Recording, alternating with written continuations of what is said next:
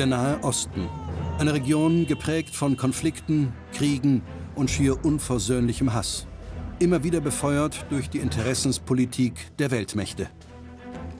Ich denke, dass man in den letzten Jahrzehnten immer wieder versucht hat, äh, Probleme zu bewältigen, die man selber erst geschaffen hat, nämlich 1918, äh, 19. Der Erste Weltkrieg, die Urkatastrophe des 20. Jahrhunderts. Nicht nur für Europa, sondern vor allem auch für den Nahen Osten. Getragen von der Hoffnung nach Unabhängigkeit erheben sich arabische Stämme gegen das Osmanische Reich. Als Gegenleistung hatten ihnen die Alliierten ein eigenes Königreich versprochen. Doch bei der großen Friedenskonferenz zeichnen sie mit Stift und Lineal Grenzen, die heute noch nachwirken. Im Pariser Vorort Sèvres wird das Schicksal einer ganzen Region besiegelt. Im Nahen Osten sieht man, dass die ja doch sehr willkürliche Aufteilung äh, des ehemaligen Osmanischen Reiches, äh, dass es hier natürlich enormen, enormen Konfliktstoff gibt. Und so macht sich auch die IS-Propaganda ein geheimes Abkommen aus dieser Zeit zunutze mit dem Namen Sykes-Picot. Das ist die sogenannte Grenze von Sykes-Picot. Wir werden sie niemals akzeptieren. Der Begriff Sykes-Picot steht in der arabischen Welt bis heute für die, äh, für die niederträchtige Interessenpolitik westlicher Staaten. Es drückt die Frustration und Wut der Araber aus, dass sie nicht konsultiert worden sind, als die Grenzen gezeichnet wurden. Der deutsche Historiker Robert Gerwart beschäftigt sich seit zehn Jahren mit den Auswirkungen der Nachkriegszeit. Die Zerschlagung des Osmanischen Reiches ähm, am Ende des Ersten Weltkrieges hat sich tief eingegraben in das öffentliche Bewusstsein überall im Grunde genommen in der äh, muslimischen Welt. Auch in der Türkei spielt der Vertrag von Sèvres, der die Zerschlagung besiegelte, immer noch eine entscheidende Rolle in Gesellschaft und Politik. Wenn dieser Putsch erfolgreich gewesen wäre, hätte man uns etwas aufgezwungen, sodass wir uns nach Sèvres gesehnt hätten im Nahen Osten, wo man äh, das Ende des Ersten Weltkrieges mit weiterer Erniedrigung äh, assoziiert, ist die Bedeutung dieser Periode überhaupt nicht zu unterschätzen. Und ich denke, es ist wichtig, dass man das versteht, um auch heute Konflikte in dieser Region besser analysieren zu können.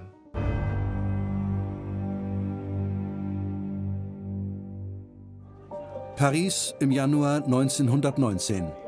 Die Metropole an der Seine steht in den folgenden Monaten im Zentrum globaler Politik.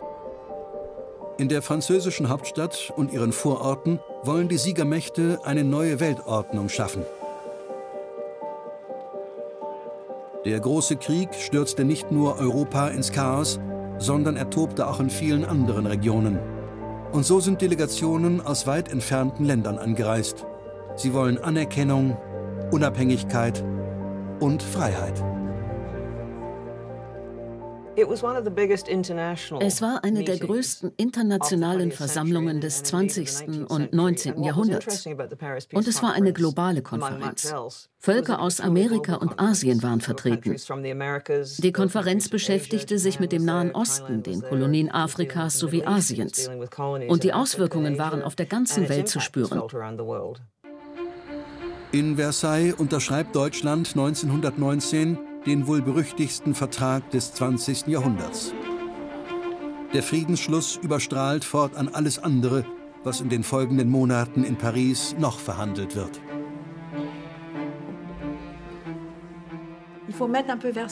Man muss Versailles ein wenig beiseite legen und dann muss man sich die anderen Verträge ansehen, um zu sehen, wie es um ganz Europa steht. Und wenn man von Europa spricht, dann ist es auch der gesamte Nahe Osten. Der wurde durch diese Verträge manchmal zum Guten, aber allzu oft zum Schlechten völlig neu gestaltet. Der Versailler Friedensvertrag ist nur einer von fünf, die aus Paris hervorgehen. Alle Verliererstaaten, die an der Seite Deutschlands kämpften, müssen sich dem Willen der Alliierten beugen.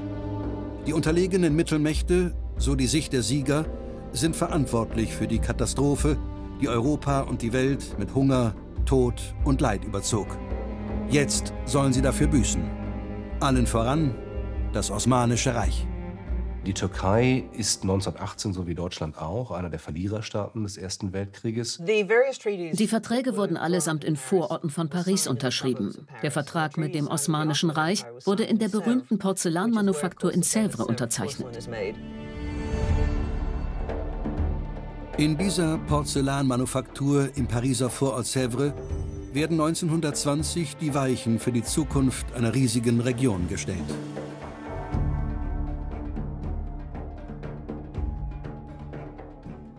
Das Osmanische Reich unterschreibt unter Protest einen Vertrag, der seinen Untergang besiegelt und dessen Auswirkungen heute noch fortwirken.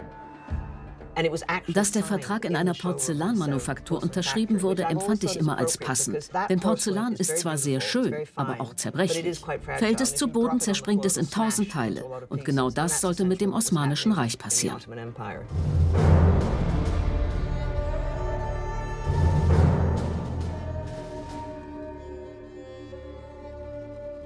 Das Osmanische Reich herrschte lange Zeit über weite Gebiete Europas und Nordafrikas. Doch bis zum 19. Jahrhundert verliert das Imperium auf dem europäischen Kontinent viele seiner Territorien. Nach der Unabhängigkeit Bulgariens 1908 büßen die Osmanen nach Libyen in den Balkankriegen auch die letzten Territorien in Südosteuropa ein. Das taumelnde Großreich wird aus Konstantinopel, heute Istanbul, regiert. Am Bosporus sieht sich Sultan Mehmed V. in seinem Vielvölkerstaat mit Bedrohungen von außen und innen konfrontiert. Nur mühsam war es dem Herrscher in der Vergangenheit gelungen, die unterschiedlichen Ethnien zu befrieden und das Reich zusammenzuhalten. Eine wichtige Stütze dabei das Militär. Der Nahe Osten vor dem Ersten Weltkrieg war in Unruhe und es gab viele Konflikte zwischen einzelnen Volksgruppen und Minderheiten. Es stimmt aber nicht, dass das Osmanische Reich, das diesen Teil der Welt damals beherrscht hat, ähm, schon da niederlag und eigentlich schon zum Scheitern verurteilt war. Seit Beginn des 20. Jahrhunderts wird das Osmanische Reich von vielen christlichen äh, Nationen eben als kranker Mann am Bosporus auch äh, wahrgenommen und auch als eine, ein Imperium, wo man sich praktisch selbst bedienen kann. Mit dem Ausbruch des Ersten Weltkriegs verschiebt sich die politische Agenda endgültig. Die Kämpfe an der West- und Ostfront sind jedoch nur ein Schauplatz dieses blutigen Konflikts. Im August 1914 tritt das Reich von Mehmed V. an der Seite der Mittelmächte in den Krieg ein. Für das fragile Imperium ist die Allianz mit Deutschland und Österreich-Ungarn Risiko und Chance zugleich.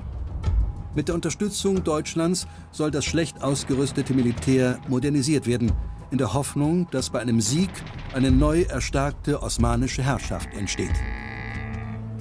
Die Truppen des Sultans kämpfen im Orient hauptsächlich gegen Soldaten aus dem gesamten britischen Empire, das auch im Nahen Osten um Einfluss ringt. Um den Feind von innen zu schwächen, suchen britische Diplomaten schon 1915 den Dialog mit möglichen Koalitionspartnern in der Region. In der heiligen Stadt Mekka, damals unter osmanischer Herrschaft, regiert Sherif Hussein ibn Ali, ein Mann mit großen Ambitionen für sich und seine mächtige Familie. Sein Sohn Faisal, ein aufstrebendes politisches Talent. Die Familie von Faisal war eine osmanische Funktionärsfamilie, die sogar im osmanischen Parlament gesessen hat. Das heißt, die hat sich mit dem Osmanischen Reich lange Zeit auch identifiziert und äh, gehörte dem System an. Die Briten wollten die Familie des Scherifen von Mekka, dessen Sohn Faisal, dafür gewinnen, dass sie einen arabischen Aufstand führen, äh, um dem Osmanischen Reich in den Rücken zu fallen. Und die Familie erkennt in diesem Moment eine Chance, eine Chance, die wirklich historisch ist und sich möglicherweise nie mehr bieten wird, dass die mächtigste Macht der Welt äh, ihr volles Backing dafür gibt, dass sie einen Aufstand anzettelt und die Araber gegen die Osmanen führt. Als Gegenleistung versprechen die Briten dem Scherifen und seinem Sohn Faisal ein Königreich, das sich über große Teile des Nahen Ostens erstrecken soll. Faisal hat den Traum eines eigenen Imperiums, mit Damaskus als Epizentrum seiner Macht.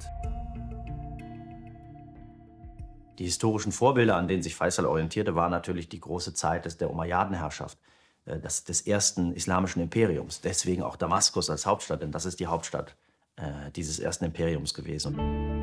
Die Regierung in London stellt Faisal einen Offizier an die Seite, der später als Lawrence von Arabien Berühmtheit erlangt. Zusammen sollen sie mit Vorstößen osmanische Truppen binden und so den Briten zum Sieg verhelfen. Doch die Araber kennen die wahren Absichten ihrer Verbündeten noch nicht.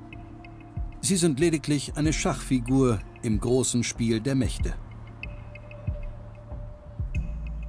Die Versprechen wurden gegeben, ohne die Absicht, dass man sie jemals umsetzen würde. Es war eine alliierte Kriegsstrategie. Es gab keinerlei Absicht, äh, zumindest nicht kurzfristig äh, in diesem Raum einen arabischen Staat zu gründen. Es ging äh, lediglich darum, äh, die arabische Bevölkerung innerhalb des Osmanischen Reiches aufzuwiegeln äh, gegen die Regierung, gegen den Sultan. Der Kriegseintritt der USA 1917 verhilft den Alliierten an der Westfront zu entscheidenden Fortschritten. Und auch im Nahen Osten stehen die Mittelmächte nun mit dem Rücken zur Wand. Faisal und seine revoltierenden Freischärler rücken bis nach Damaskus vor. Sie haben ihren Teil des Paktes eingelöst. Der Erfolg Faisals bringt die Briten in eine Zwickmühle, hatten sie doch in Wahrheit schon längst mit Frankreich ausgemacht, die Region politisch zu beherrschen und wirtschaftlich auszubeuten. Denn schon damals geht es auch ums Öl.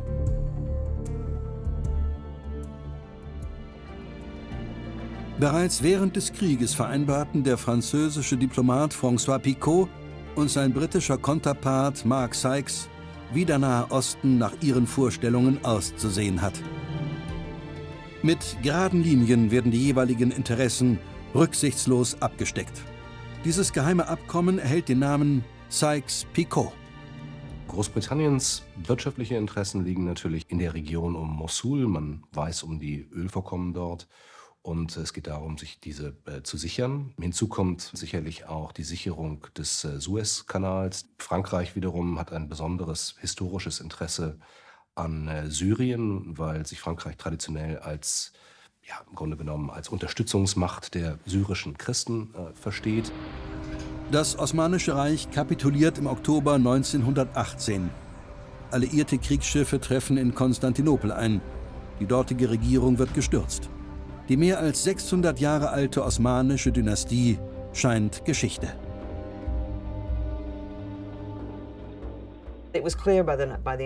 Nach dem Krieg war klar, dass das Osmanische Reich zerfallen wird. Die Araber hatten revoltiert und die Regierung in Istanbul war quasi machtlos. Was über Jahrhunderte zusammengehalten wurde, zerfällt. Die unterschiedlichsten Völker des untergehenden Reiches schöpfen nun Hoffnung auf Unabhängigkeit.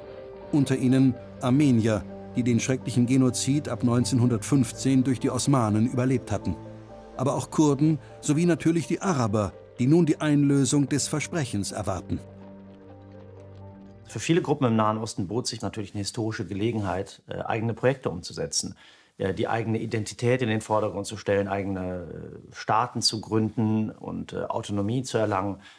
Aber in dem Moment, als die nationalstaatliche Idee en vogue wurde und überall Erwartungen geweckt hat, wurde das natürlich ein Problem. Besonders befeuert wird diese Hoffnung von US-Präsident Wilson. In Punkt 12 seiner berühmten Erklärung zu den Kriegszielen möchte er eine umfangreiche Neuordnung des gesamten Orients erreichen. So sollen die Völker des Osmanischen Reiches ihr Schicksal scheinbar in die eigene Hand nehmen können. Und genau damit rechnet Faisal jetzt. Es gibt eine gewisse Revolution der Erwartungen in allen beteiligten, kriegsbeteiligten Ländern. Das heißt, es werden sehr hohe Ansprüche gestellt und Erwartungen äh, geweckt, was den Friedensschluss anbelangt. In Paris 1919 sind es auch die Truppen der arabischen Revolte, die durch den Triumphbogen paradieren. Faisal selbst erscheint mit einer eigenen Delegation und versucht auf diplomatischem Wege seinen militärischen Erfolg in politische Tatsachen umzumünzen. Feister bekommt Berührung mit der Weltpolitik und versteht trotzdem recht schnell, ist ja auch dann ganz gut beraten, wie das alles funktioniert. Dann gibt es äh, eine Korrespondenz äh, mit äh, der zionistischen Bewegung. Ähm, er setzt sich mit den Franzosen auseinander. Er setzt, er taucht auf auf äh, einer internationalen Konferenz. Äh, es gibt das berühmte Foto von Faisal in Versailles. Doch Faisal weiß jetzt, seine Interessen stehen im Widerspruch zu denen seiner Verbündeten. Briten und Franzosen haben wenig übrig für ein unabhängiges arabisches Königreich. Die Hoffnungen, das Versprechen doch noch einzulösen, ruhen nun auf US-Präsident Wilson. Doch der erweist sich als ein ganz anderer politischer Führer, als erhofft. International gibt es in vielen Orten der Welt ein Missverständnis, was Wilson eigentlich möchte. Denn wenn er vom Selbstbestimmungsrecht der Völker spricht, dann spricht er relativ explizit von weißen Europäern. Wilson ist heute eine extrem umstrittene Figur. Er ist ja der Präsident, der die Rassentrennung auch in den äh, föderalen ähm, Institutionen in den Vereinigten Staaten einführt. Er ist also sozusagen ein Liberaler des 19. Jahrhunderts, aber nach heutigen Maßstäben sicherlich auch ein Rassist. Faisal sieht sich in Paris mit der imperialen Attitüde seiner ehemaligen Verbündeten konfrontiert. Diese ist geprägt von einer Tradition der Unterwerfung kolonialer Völker. Franzosen und Briten waren der Meinung, dass die Menschen im Nahen Osten nicht bereit waren für die Unabhängigkeit. Das ist gewiss auch eine imperialistische und rassistische Sicht. Sie dachten, dass sie sich nicht selbst regieren können, denn sie würden die Region ins Chaos stürzen. Faisal hat kaum politisches Kapital. Er ist der Willkür der Sieger ausgeliefert. Sein Damaskus wird von den Franzosen beansprucht. Was bleibt, ist ein Zugeständnis, das nichts mit einem unabhängigen arabischen Reich zu tun hat. Die Briten haben Faisal dann, nachdem äh, es nichts wurde mit seinem Königtum, Königreich in Damaskus, weil man den Franzosen ja versprochen hatte, dass sie äh, die Mandatsherrschaft über Syrien erlangen, haben sie ihn dann in den Irak geschickt, ähm, zu einem Marionettenkönig gemacht. Dort regiert Faisal tief enttäuscht bis zu seinem Tod 1933, ehe die Dynastie seiner Familie im Irak 20 Jahre danach durch einen Putsch endgültig beendet wird.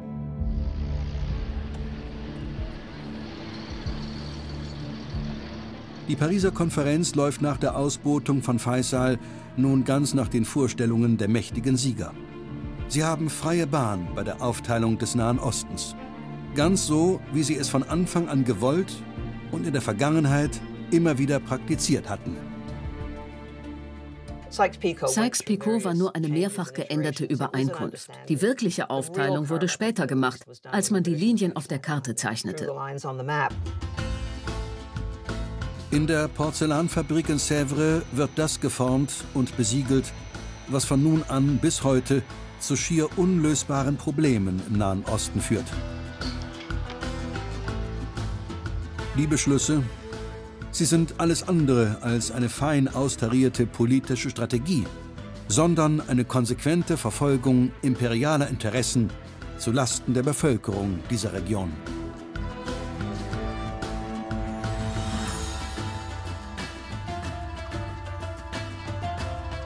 Frankreich erhält die Mandatsherrschaft über Syrien und den Libanon. Großbritannien hingegen nimmt sich den Irak und Palästina. Der arabische Scherif von Mekka darf nur das behalten, was er ohnehin schon besaß.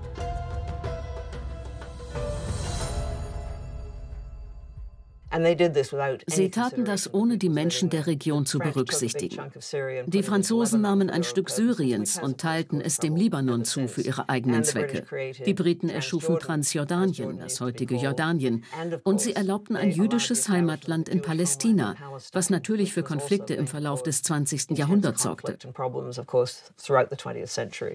Ja, im Grunde genommen verwendete man relativ wenig Zeit darauf, sich über die langfristigen äh, Konsequenzen Gedanken zu machen. Äh, es ging in erster Linie darum, hier neue Verwaltungseinheiten äh, zu schaffen, die man dann unter sich aufteilte in Form von Völkerbundmandaten. Dahinter steckt natürlich auch der Gedanke, dass man bestimmte wirtschaftliche Abhängigkeiten schaffen wollte, bevor diese neu gegründeten Staaten in die Unabhängigkeit entlassen werden würden. Aber es ist eben trotzdem nicht folgenlos geblieben weil damals äh, in Hinterzimmern entschieden wurde, äh, wie die Einflusssphären und äh, die Gebiete des Nahen Ostens unter westlichen europäischen Staaten aufgeteilt werden. Allerdings ist äh, gerade der Nahe Osten sicherlich in den letzten Jahren politisch aufgeladener, als wir das in Jahrzehnten gesehen haben. Die Dämonen von Sèvres. Sie kehren immer wieder auf die Kriegsschauplätze im Nahen Osten zurück. 2014 überrennt die Terrororganisation Islamischer Staat große Teile des Iraks. In der Stadt Mossul ruft der Anführer des IS al-Baghdadi im Juni dann ein Kalifat aus. Das war damals von den Alliierten unterdrückt worden. Assalamu alaikum wa rahmatullahi wa barakatuh. Die Abschaffung des Kalifates äh, am, äh, nach dem Ende des Ersten Weltkrieges ist etwas, was natürlich von vielen Muslimen gesehen wird in dem größeren äh, Kontext der Zerschlagung des Osmanischen Reiches. Dies umzukehren, äh, versprach der Islamische Staat ja und auch daraus äh, resultiert sicherlich seine zeitweilige äh, Popularität in bestimmten ähm, Lagern. Und so nutzt die Propaganda des IS die Demütigung von einst für seine eigenen Machtansprüche. Auf dem Höhepunkt seiner Erfolge überquert der Islamische Staat symbolträchtig die irakisch-syrische Grenze. Sykes-Picot, das Abkommen der beiden Diplomaten, in der arabischen Welt ist es keineswegs vergessen. Jedes Kind in der arabischen Welt kennt Sykes-Picot. Sykes-Picot ist ein Fanal und äh, wird im Nahen Osten wahrgenommen als der Inbegriff äh, der Verschlagenheit, Durchtriebenheit und Hinterhältigkeit des Westens. Das ist die sogenannte Grenze von Sykes-Picot. Wir werden sie niemals akzeptieren. Bis heute ist es ein beliebtes äh, Mittel in der arabischen Welt, äh, sämtliche Verfehlungen, sämtliche Fehlentwicklungen, auch sämtliche selbstverschuldeten Entwicklungen Sykes-Picot zuzuschieben. Es war alles Sykes-Picot, es hat alles angefangen mit äh, dem, was die Briten und die Franzosen damals gemacht haben und ähm, letztendlich äh, hat man damals die Tore zur Hölle geöffnet und äh, konnte sie nie wieder schließen. Meiner also Meinung nach muss man auch darüber hinaus nach Gründen suchen. Viele Länder hatten schlechte, korrupte Regierungen und Militärinterventionen. Sich nur auf Sykes-Picot zu fokussieren, lenkt von anderen wichtigen Gründen für Instabilität und Ungerechtigkeit im Nahen Osten ab. Auch in der Türkei, dem Nachfolgestaat des Osmanischen Reiches, ist der Vertrag von Sèvres eindringlich in Erinnerung geblieben. Seien wir mal ehrlich. Die Türkei steht nach dem Unabhängigkeitskrieg vor ihrem größten Kampf. Dieser Kampf ist ein Kampf einer einzigen Nation, einer einzigen Flagge, einer einzigen Heimat, eines einzigen Staates. Liebe Brüder und Schwestern, wenn wir in dieser kritischen Phase des Wiederaufbaus der Welt und unserer Region aufhören, werden wir uns in den Zuständen zu Zeiten von Sèvres wiederfinden. Was für die Araber Sykes-Picot ist, ist für die Türken Sèvres. Ähm, ein Beweis dafür, dass äh, die europäischen Mächte ähm, ihnen schaden wollen und äh, rücksichtslose Interessenpolitik betreiben. Der Vertrag von Sèvres 1920. Er sollte nicht nur den Nahen Osten nachhaltig verändern. Die Alliierten nehmen sich vor, das gesamte Osmanische Reich für immer zu zerschlagen. Dazu gehört auch das türkische Kernland.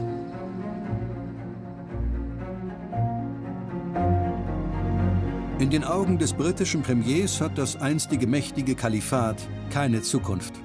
Mehr noch, es soll gänzlich von der Landkarte verschwinden. David Lloyd George war ein altmodischer Liberaler und aus deren Sicht war das Osmanische Reich ein abscheulicher, rückwärtsgesinnter Staat. Also es gibt ja, gibt ja Aussagen vom äh, britischen Premierminister, der sagte, dieses Abkommen wird die schlimmsten Feinde der Türkei zufriedenstellen. Also wenn man sich so eine, eine, eine Liste der schlimmsten türkenfeindlichen äh, Statements zusammenstellen wollte, dann würde man wahrscheinlich David Lloyd George an erste Stelle stellen.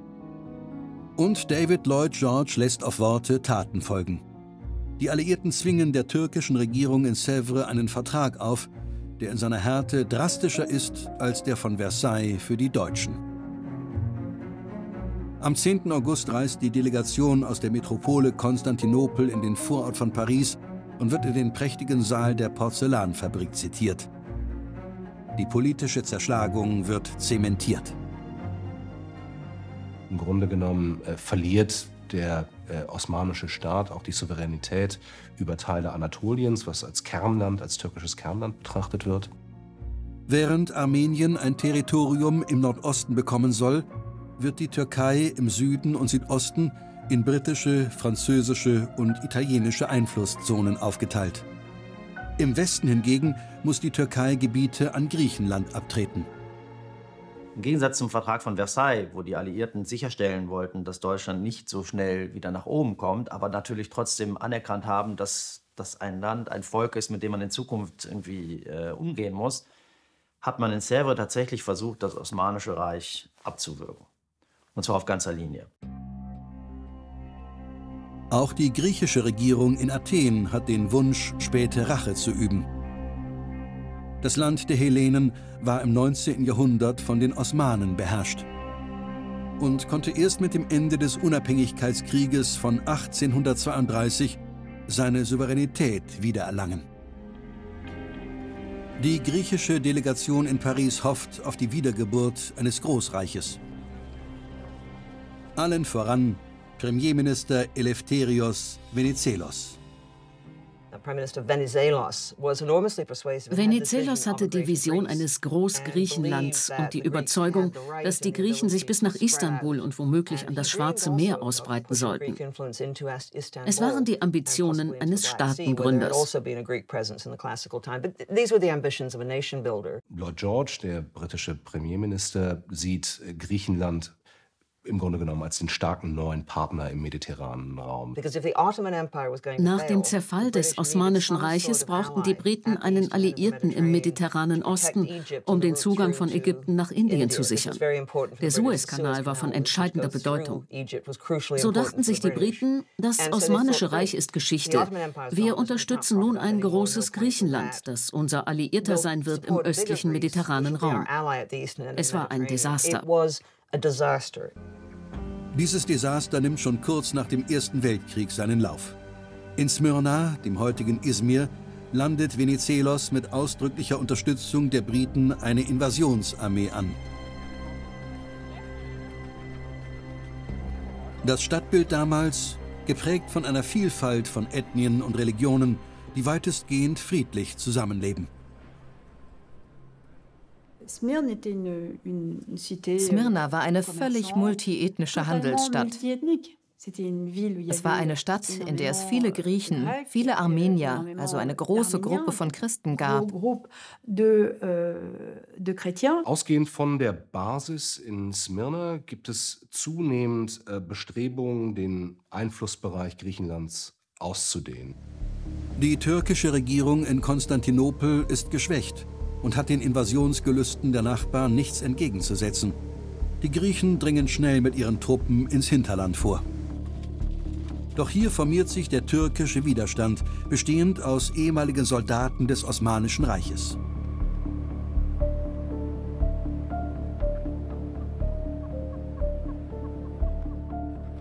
Ihr Anführer, Mustafa Kemal, später bekannt als Atatürk, Vater der Türken. Er sammelt und vereint die versprengten Einheiten und will mit aller Macht den griechischen Vormarsch beenden.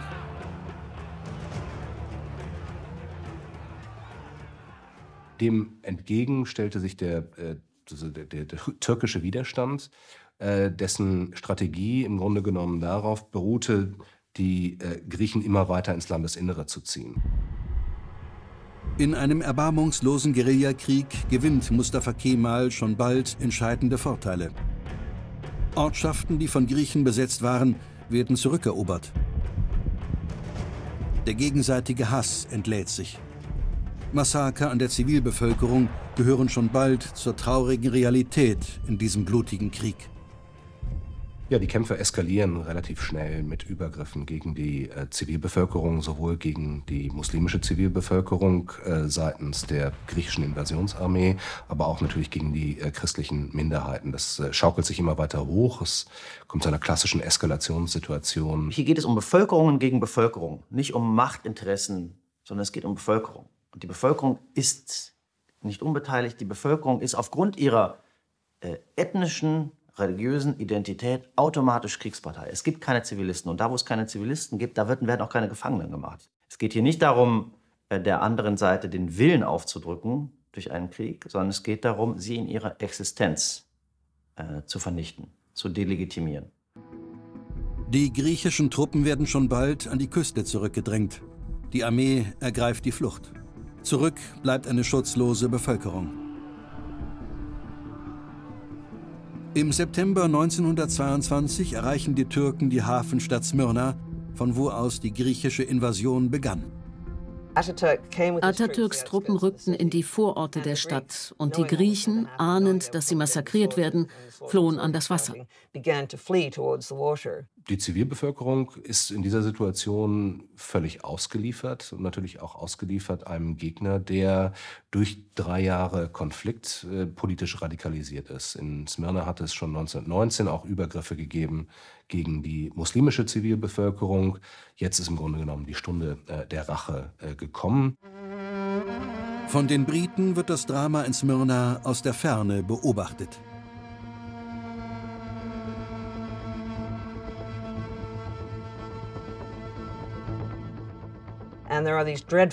Menschen sprangen aus Verzweiflung ins Wasser, um ihre Kinder zu retten. Wir wissen nicht, wie viele gestorben sind. Ich glaube, es waren 20 oder 30.000. Atatürk unternahm nichts. Die Wut der Türken auf die Griechen war einfach zu groß. Die einst so florierende Hafenstadt, sie wird Schauplatz des blutigsten Ereignisses dieses Krieges. Mehrere Tage lang wüten die Feuer in den griechischen und armenischen Vierteln.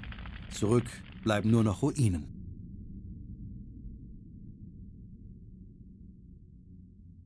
Noch heute ist diese Episode in Griechenland bekannt als die große Katastrophe. Insgesamt, es gibt hier nur Schätzungen, aber äh, kommen bis zu 250.000 Menschen bei diesem Konflikt, der äh, gerade im Westen oft vergessen ist, äh, ums Leben zwischen 1919 und äh, 1922. Ganz anders wird diese furchtbare Episode in der Türkei in Erinnerung bleiben. Es ist die Geburt für eine unabhängige, selbstbewusste und moderne türkische Gesellschaft. Sie hat sich dem Diktat von Sèvres erfolgreich widersetzt. Bis heute überschattet diese Periode jedoch die Beziehungen zum griechischen Nachbarn. Mit seinem Befreiungskrieg hat Mustafa Kemal militärisch Fakten geschaffen und zwingt die Sieger des Ersten Weltkrieges wieder an den Verhandlungstisch. In Lausanne 1923 drückt nun er den Alliierten seinen Willen auf.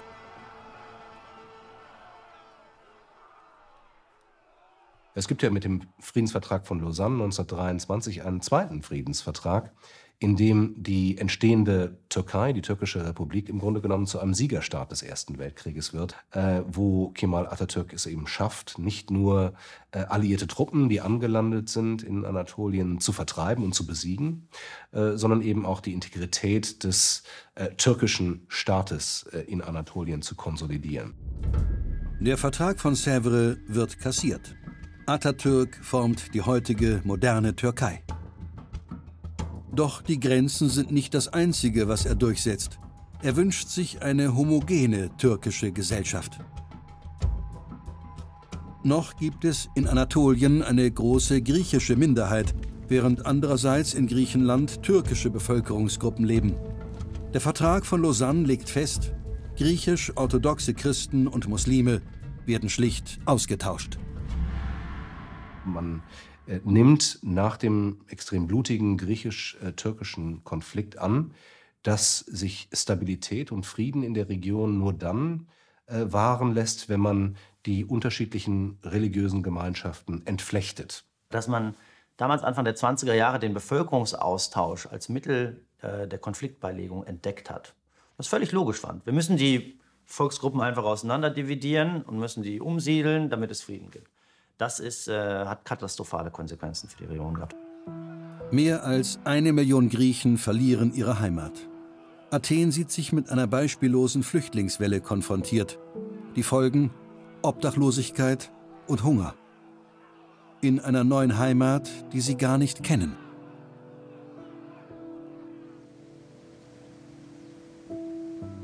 Auch die Türkei verändert sich in dieser Zeit nachhaltig. Während hier vor wenigen Jahren verschiedene ethnische Gruppen noch zusammenlebten, ist Atatürks Staat nun tatsächlich eine assimilierte türkisch-muslimische Gesellschaft.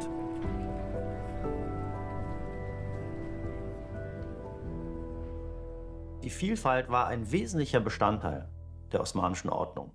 Im Staat, aber auch im Stadtbild. Und das ist in dieser Zeit zunichte gemacht worden.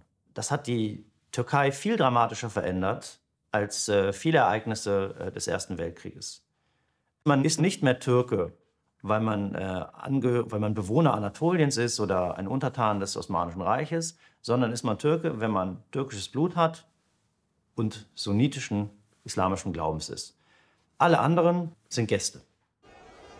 Obwohl der Vertrag von Sèvres rückgängig gemacht wurde, ist er in der Türkei nach wie vor von enormer Bedeutung und wirft seine Schatten bis in die Gegenwart.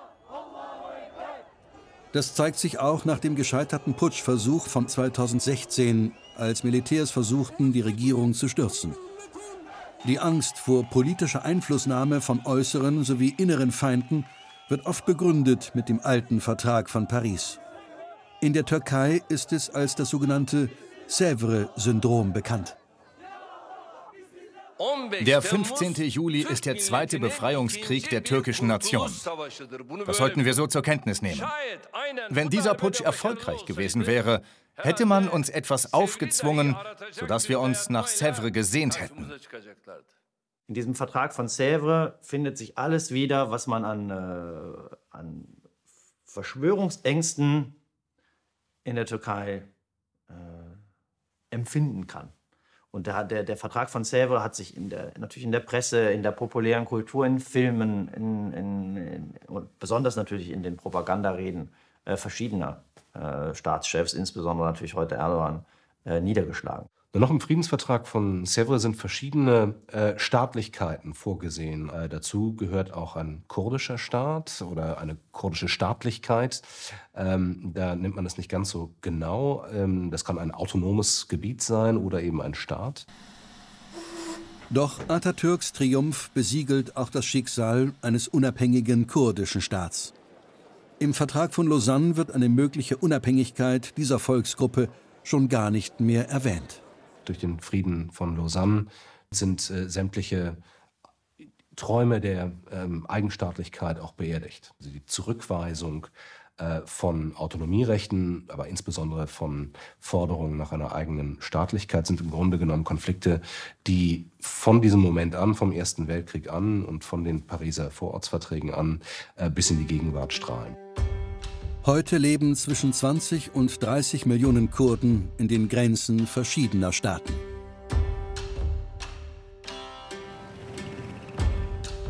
Es ist damit das größte Volk ohne einen eigenen Staat. Die Kurden leben in einer komplizierten Welt. Sie haben jede Menge Feinde und keine der Regierungen in den Ländern möchte ein unabhängiges Kurdistan. Doch der Vormarsch des Islamischen Staates 2014 schafft neue politische Fakten. Das vom Bürgerkrieg gebeutelte Syrien und die geschwächte Regierung in Bagdad sind nicht fähig, den Siegeszug der Extremisten aufzuhalten. Die Weltgemeinschaft sucht neue Verbündete im Kampf gegen den IS und findet sie vor allem in Gestalt der Kurden. Die Amerikaner aber auch andere Mächte äh, in der Region haben äh, Erwartungen geweckt bei den Kurden, indem sie gesagt haben, ihr seid unsere einzigen äh, wirklich guten Verbündeten gegen den sogenannten Islamischen Staat, gegen den Terror. Man hat Waffen geliefert, man hat Militärberater geliefert und man hat natürlich damit auch so ein gewisses, äh, eine Erwartungshaltung stimuliert. Die kurdischen Kämpfer sind eine der wenigen Kriegsparteien in der Region, die mit Bodentruppen wirksam den islamischen Staat zurückdrängen können. Sie befreien und besetzen Gebiete in Nordsyrien. Längst ist klar, dass sie damit die Hoffnung verbinden, endlich den lang ersehnten eigenen Staat gründen zu können, sobald sie den IS aus der Region vertrieben haben. Wir haben ihre Munition übernommen. Wir haben viele von ihnen getötet. Bei diesem Angriff waren wir erfolgreich. Wir haben diese Stelle von ihnen zurückgenommen. Nun werden wir sie überall besiegen und werden Meter für Meter vorankommen. Wir werden es zum Wohle aller schaffen. Wir werden Kurdistan befreien. Was man den Amerikanern und auch anderen Mächten, übrigens auch den Russen vorwerfen kann, ist, dass sie, weil sie die Kurden als äh, Spielkarte brauchten und als Verbündeten gegen den IS, solche Versprechungen gemacht haben oder vagen Erwartungen geweckt haben. Das kostet Menschenleben am Ende. Denn die Türkei hat mitnichten die Absicht, solche Hoffnungen auch nur annähernd zu erfüllen. Als die USA 2019 ihre Truppen aus Nordsyrien abziehen, lassen sie die Kurden, ihre einstigen Verbündeten, allein.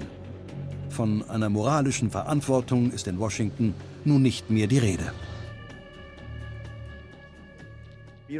Bereuen Sie es, dass Sie Erdogan grünes Licht für die Invasion gegeben haben? Das habe ich nicht. Wir haben den Kurden eine Menge Geld gegeben, unfassbar viel, ein Vermögen. Und es war wunderbar.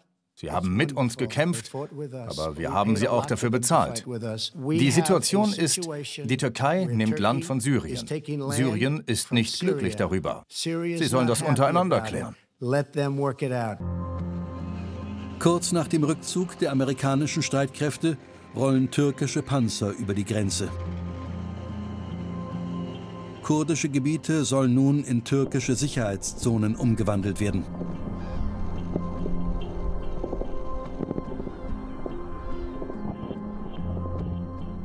Der Traum von Kurdistan, er ist wieder einmal in weite Ferne gerückt.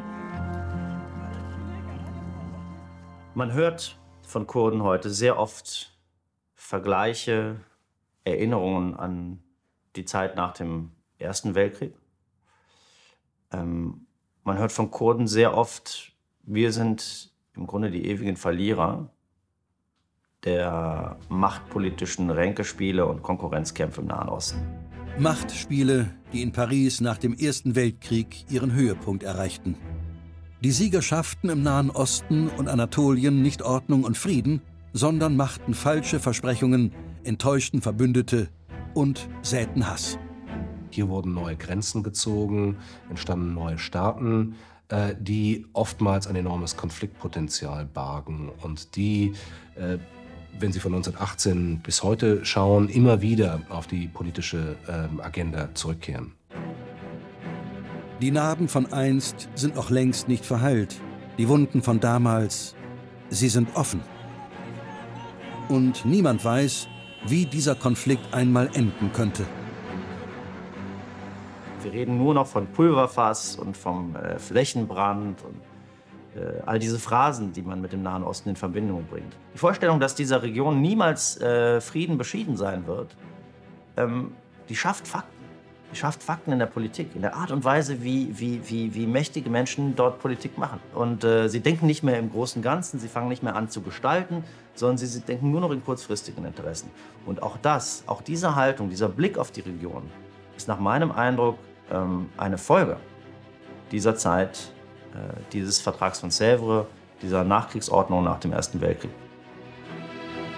Das blutige Erbe von Sèvres, die Porzellanmanufaktur, Sie symbolisiert tatsächlich, wie zerbrechlich die Welt im Nahen Osten noch heute ist.